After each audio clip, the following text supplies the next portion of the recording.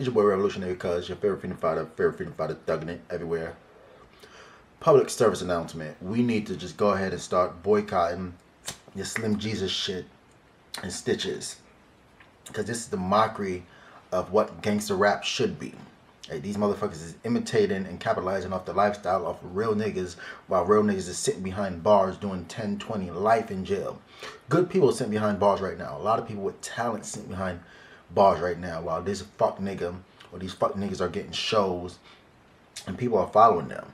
And and black people like that, like my nigga, like they're culture vultures, my nigga, like they're mocking your whole race. They mocking everything that you stand for.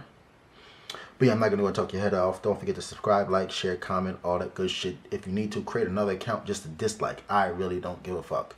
Bitch niggas die slow. Salute all real niggas.